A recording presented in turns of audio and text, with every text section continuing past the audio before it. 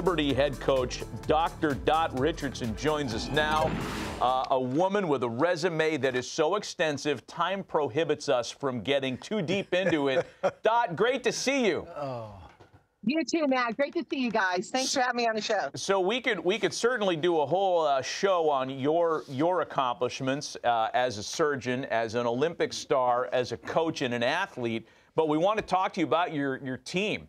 Uh, the Flames are pretty good, and you've been there for a decade, kind of in the growth period of college softball at Liberty, and now as a dominant player in the field. Uh, talk about your team.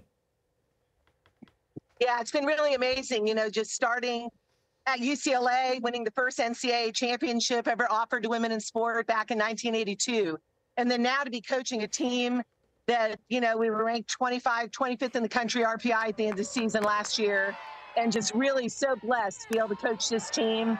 They have a heart for the Lord and they have a passion also for the game. Hey, hey Dot, when Matt mentioned your resume, and believe me, people out there, it's pretty packed. Um, being the head coach and bringing these gals into a school, is there ever a time where you have to look at them and and tone yourself down. Say, okay, they're not me. Um, I'm in a different world right here because a lot of the big league managers were the were the grunt squad, the F troop, the the utility players, the backup catcher that realized the game was hard. And I know you know that, but your resume doesn't necessarily say that. How do you view these girls when they come in where yeah, you kind of uh, set yourself back a little bit? Yeah. Well, the interesting thing is, I had to realize, you know, I've had my time and it's now their time. And for me, I just want to instill in them to recognize the gifts God's given them in the sport and to seize every opportunity that they can get. And in doing that, you are just honoring the gifts that you have been given. And it's so fun to be able to see the growth of the sport. But you're right, at times I always wonder, you know, why don't they have the passion that I had? um, and still have actually. But it's so fun to be able to share that with them and see that passion grow. And, uh, you know, this team is dynamic, you guys, very dynamic. Uh, we've got speed, consistency. We've got at the plate a lot of power, as well as that speed to complement it well. Um, in the circle, we're deeper than ever uh, with five pitchers, and they all look fantastic. Catching wise, we have a couple catchers that are big bat as well. So you know, yeah, it's very interesting with my career and uh, being able to continue to give back to the game, which is what you guys just talked about the NFCA and everybody did basically, um, you know, yesterday to give back to the community. It's all about giving back, right? It, it, it is. Uh, you've always been on top of that, part of college athletics for sure. And, and, you know, I mean, I don't have to tell you, women's college sports, no different than men's college sports in terms of the competition in recruiting athletes.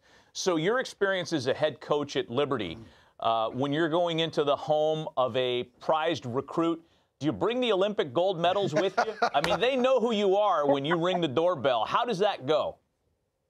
Well, if they don't, um, their parents do.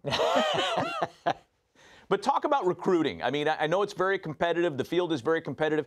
Uh, you have a really larger than life kind of um, um, aura about you within the sport. That has to be an advantage for you. Yeah, it really is. We have a couple advantages at Liberty University.